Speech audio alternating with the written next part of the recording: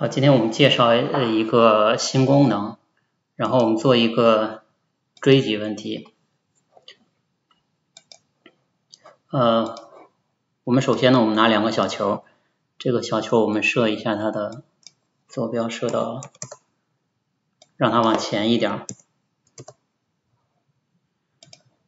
好，我们设一下速度，这个我们让它速度稍微小一点，比如说这个我们设到五。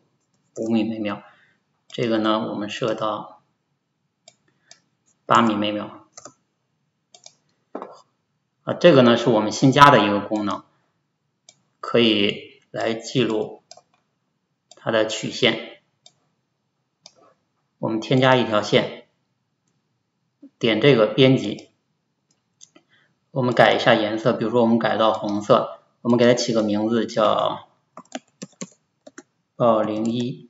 然后呢，器材器材呢，这个是我们的器材名字，我们先写上，我们也让它叫这个名字。当然，这两个可以不一样，比如这个换一个叫小球零一。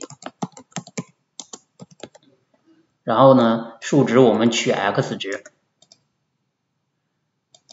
那小球我我们再加一个吧，再加一条线。啊，这个我们编辑一下，小球撑不开，小球一。嗯，这样，我们叫小球二，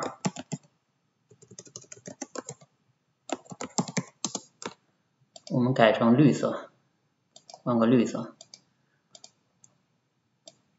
这个叫报零二，数值呢我们也取 x，那小球一、小球二那个刚才填的那个器材名呢，我们在这里设置一下。在这里，我们设置一下，又撑不开，重来啊！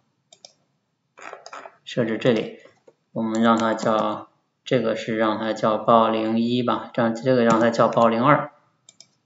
好，然后这个呢，我们让它是零一。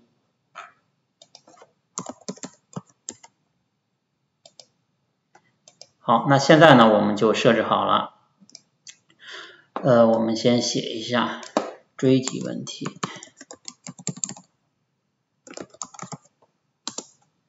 我们保存一下，啊，追击问题零一，保存一下。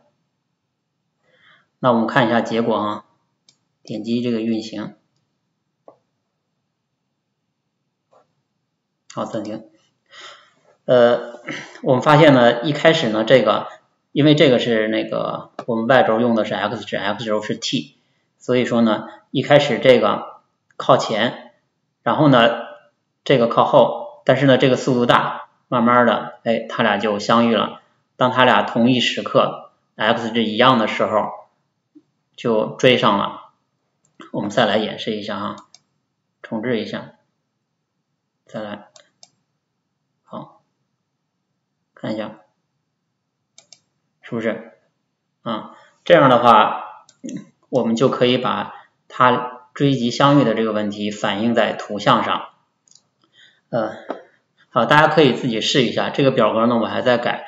然后还有一个问题就是，这个我们是不会保存的，目前没有做保存。所以说呢，嗯，比如说我刷新，刷新之后呢，然后需要重新弄一下。